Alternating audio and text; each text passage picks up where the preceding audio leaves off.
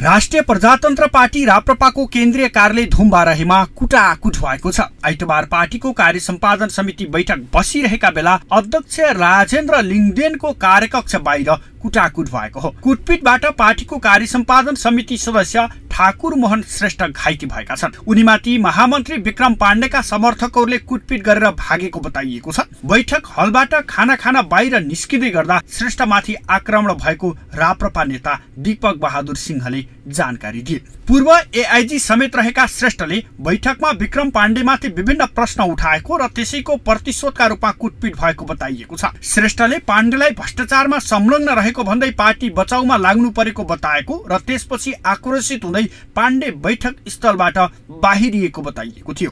त्यस लगत्तै श्रेष्ठमाथि आक्रमण भएको हो। महामन्त्री पाण्डेलाई सिधै भ्रष्टाचारी भनिदिएपछि बैठक तनावपूर्ण समेत बनेको थियो। केही बेर आरोप प्रत्यारोप चलेपछि सिनियर नेताहरूले थुमथुमाउने प्रयास गरे। तर पाण्डेले श्रेष्ठको भनाइ फिर्ता नलिए आफू बैठक बहिष्कार गर्ने भनेर उठेको नेताहरूले प्रतिक्रिया दिएका छन्। भिडियोमा रविन्द्र मिश्र विक्रम पाण्डे ज्ञानेन्द्र शाही रोशन कार्की लगायतका नेताहरू पनि देखिएका छन्। त्यसपछि एकाएक अर्को साइडबाट ठाकुर मोहन भाग्दै आउँछन् र उनलाई लिङ्गदेनको कार्यकक्ष छिर्ने ढोकाको ठिक अगाडि समातेर कुटपिट गरेको देखिन्छ।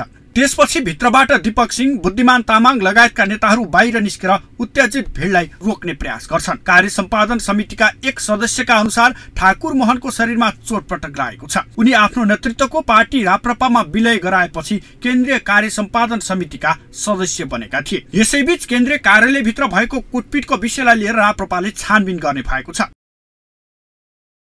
पार्टी कार्यालयभित्र पार्टीको पदाधिकारीलाई कार्य सम्पादन समितिको सदस्यलाई अप्रत्याशित रूपमा त्यो जुन आक्रमण भएको छ सिसिटिभी फुटेज अन्य सञ्चार माध्यममा आएको भिडियो समेतलाई लिएर अनुसन्धान गरेर कारवाही गर्न प्रहरीलाई आग्रह गर्ने भन्ने समेत निर्णय भइसकेको छ। घटनाको सिसिटिभी फुटेज हेरे पश्चात एक उपाध्यक्षको नेतृत्वमा छानबिन समिति बनाउने समझदारी गरेको हो। पाण्डेकै योजनामा यो घटना भएको अनुमान गरिए पनि उनले भने अस्वीकार गरेका छन्। घटनामा आफ्नो कुनै संलग्नता नरहेको दावी गरेका पाण्डेले यसमा आफ्नो कुनै हात नरहेको भन्दै स्याल कराउनु र बाख्रा हराउनु जस्तो भएको बताए। पाण्डेले बोलेपछि कुटाई खाने ठाकुर मोहनले पनि बोल्ने समय मागेपछि बोल्न भने पाएन। राप्रपाका प्रमुख नेताहरूले यो विषयलाई आवश्यक परेमा कानुनी प्रक्रियामा लैजान सकिने तर बैठकमा विवाद नगर्ने समझदारी गरेसँगै बैठक सुचारू भएको थियो। सेभेन स्टार फोकेका लागि राजनीति ब्युरो।